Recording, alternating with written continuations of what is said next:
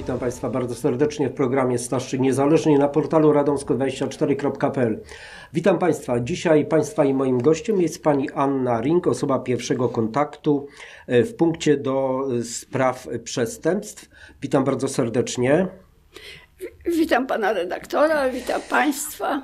Doświadczenie przemocy domowej jest złożonym problemem i często do wyjścia z przemocy potrzebna jest pomoc innych osób. Pani wie o tym doskonale i najlepiej, a nawet wsparcie wielu służb. Czy to w chwili obecnej się sprawdza? Nawiązuje to do ustawy, która weszła w 2020 roku, że osoby pokrzywdzone, które szukają ratunku w, rodzinach, gdzie jest przemoc, mogą uciec się nawet do tego, że ten oprawca może być natychmiast eksmitowany. Na ten temat już chyba rozmawialiśmy.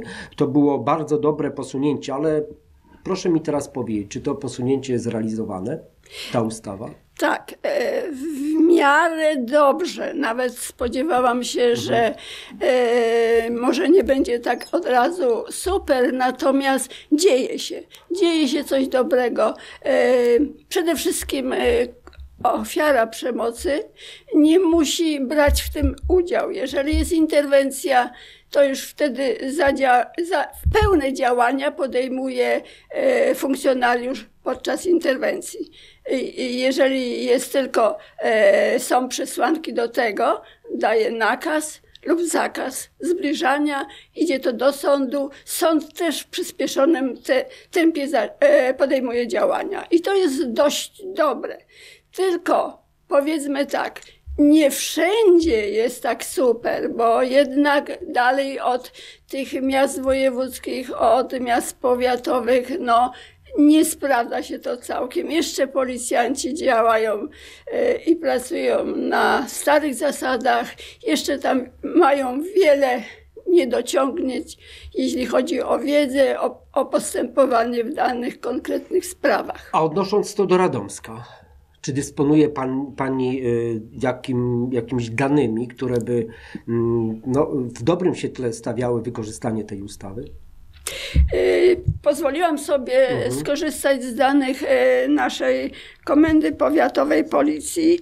No i otrzymałam takie dane, że w roku 2021 i jeszcze te dwa miesiące od nowelizacji z listopada założono 167 niebieskich kart. Czy to jest dużo, czy mało? Ale, Ale zawsze... czy to się wiąże, przepraszam, czy to się wiąże z tym, jeżeli jest założona niebieska karta, że w tym momencie była interwencja policji i ten oprawca w rodzinie został eksmitowany?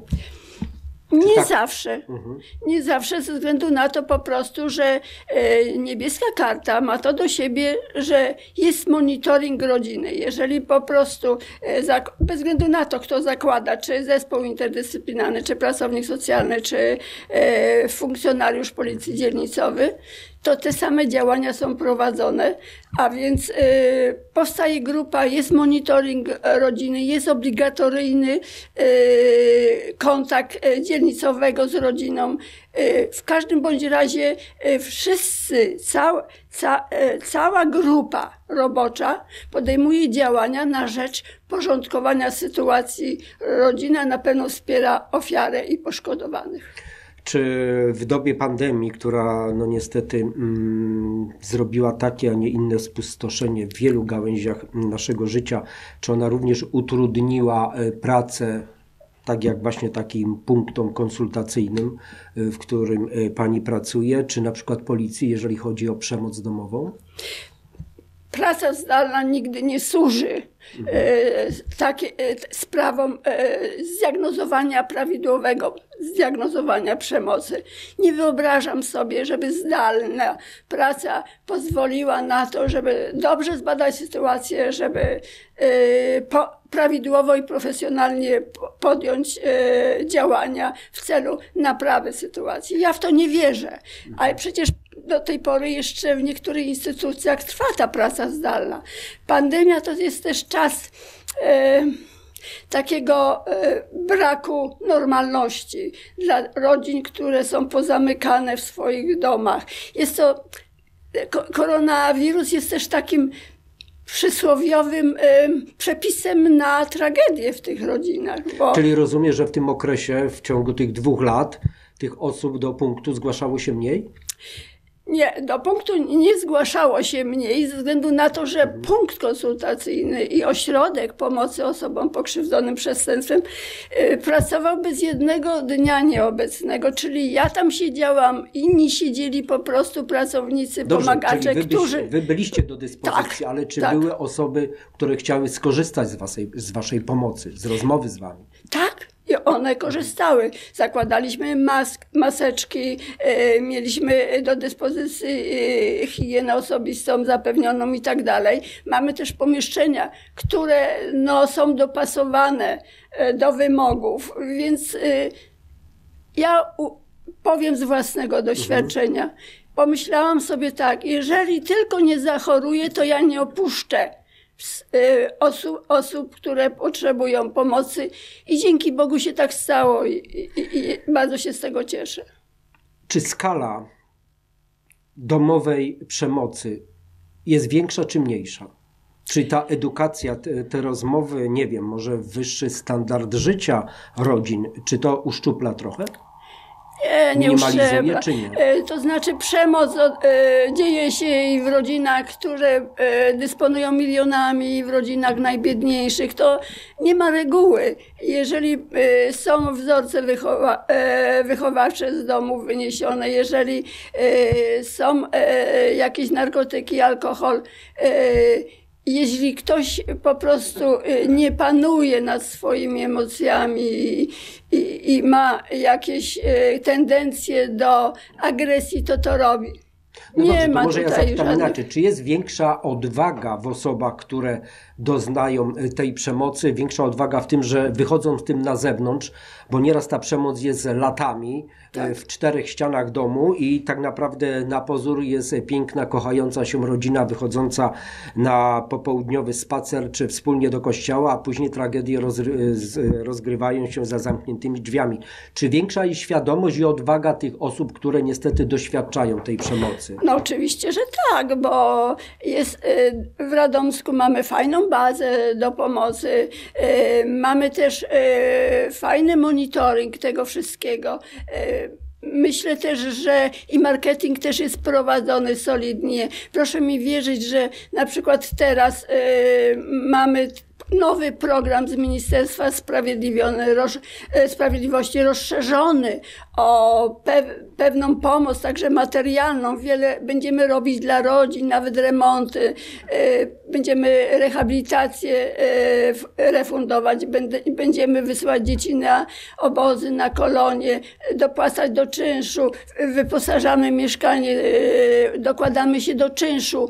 Więc ta gama pomocy rodzinom z problemami, z pokrzywdzeniem, bo myśmy, my się też zajmujemy wszystkimi e, przestępstwa, z przestępstwami, e, które mieszczą się w kodeksie karnym. Bo przemoc jest jedną z nich tylko. W związku z tym e, mamy szeroką gamę pomocy i myślę, że od tego roku przez 4 lata pomożemy jeszcze więcej niż, niż pomagaliśmy. Ale powiem szczerze tak, jest większa świadomość e, e, osób. Proszę zauważyć, że w mediach e, ten słynny telefon e, zaufania młodzieży, e, ta ilość się zwiększa i, i, i alarmują osoby pomagające, że no, trzeba po, jakby wymyślić nowy projekt, e, nowe sposoby na to, żeby ta młodzież, która jest e, jakby naszym priorytetem w życiu, e, skorzystała jeszcze bardziej. A jak wygląda sytuacja, bo też są takie mm, sceny mrożące krew w żyłach, że okazuje się, że rodzina, matka dwoje dzieci jest przerażona, bo po tak zwanej, mówiąc to kolokwialnie, odsiadce wraca mąż, który terroryzował mm, rodzinę, wraca z więzienia po dwóch czy trzech latach i on wraca z powrotem do tej rodziny. Bardzo często są takie mm, przypadki, że no, budzi to grozę wśród domowników. Tak, mamy takie przypadki i te żony, te partnerki Mhm. boją się, bo on za trzy lata wraca. Co one mają zrobić w tym wypadku? E, Można wiele w międzyczasie y, zrobić. Mamy pomoc prawną, więc y, mogą, za, y, mogą podjąć działania procesowe odnośnie majątku, odnośnie rozwodu, by odnośnie powiedziały, ja tylko nie chcę tego mężczyznę widzieć na oczy, nie chcę, żeby on przekroczył próg mojego domu, no bo no, powiedzmy sobie tak szczerze, ta resocjalizacja w zakładzie karnym to zawsze przebiega prawidłowo, Tak. czy nie? Myślę, że w 90% na pewno tak, bo są na to środki y, od państwa i, i są specjaliści, którzy takie dobre programy mają, jeśli chodzi o y, zakłady karne i o areszty, bo nawet kiedyś sama prowadziłam grupy dla sprawców i wiem, że coś takiego istnieje i, i, i zdaję egzamin. To taka osoba, która, taka kobieta, na przykład matka dwojga dzieci, gdy dowiaduje się, że ten mąż będzie wracał, i a ona jest tym przerażona, co, jakie ma poczynić pierwsze kroki? Gdzie powinna się udać? Gdzie prosić o pomoc? Tak Nie wierząc w to, że resocjalizacja jej męża udała się, partnera. Y, Przede wszystkim to przyjść na przykład jednym z, na- e, z takich e, punktów jest nasz punkt e, pomocy osobom pokrzywdzonym przestępstwem. Ona będzie naszą klientką, bę- będziemy sprawować wszelkie pomocy i opieki, opiekę całokształtną, jeśli chodzi o działania z naszej strony i ofertę pomocową a przede wszystkim y, wejść y, i porządkować sobie sprawy majątkowe, sprawy y, rozwodowe, jeżeli jest na to zdecydowana, bo nie wszystkie są zdecydowane. Osoba, Lub po prostu może wynająć sobie mieszkanie, a my będziemy jej to mieszkanie adoptować do użytku i będziemy jej pomagać w płaceniu czynszu. No, co można, to zrobimy, żeby ona poczuła się bezpieczniejsza, A kto- a swoją drogą te sprawy prawne pójdą w a kto swoim czasie. monitoruje po eksmisji takiego delikwenta z domu? y, Kto monitoruje y, przebieg tej eksmisji? W sensie tym, kto sprawdza, czy on czasem nie przychodzi do tej rodziny, nie nęka ich? To jest zadaniem policji? Tak. Jeżeli złamie prawo, no to podlega pewnym... e, Ale ona, y, policja tylko interweniuje na wyraźną prośbę domownika, czy przez pewien Y, okres czasu ta osoba jest monitorowana? Ustalmy tak. Mówimy w tej chwili o interwencji, o s- nakazie i zakazie. To monitoruje policja.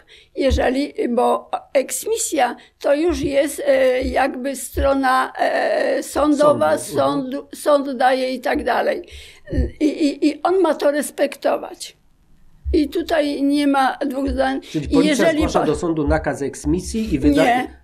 Czyli? Z, y, zakaz zbliżania się i nakaz się. wyprowadzki. I w związku z tym to obowiązuje tylko na 14 dni. I jeżeli on w tym czasie złamie te warunki y, postawione odnośnie nakazu i zakazu, no to wtedy interweniuje policja i, i on ponosi tego konsekwencje. Y, Eksmisja jest co innego, jeżeli on ma jakiś termin wyprowadzki, jeszcze musi te, tak, musi być też podział jakiegokolwiek majątku, no jednak po prostu sprawca przemocy ma jakieś prawo i muszą sobie uporządkować sprawy rodzinne, prawda? W związku z tym to już się toczy inne postępowanie.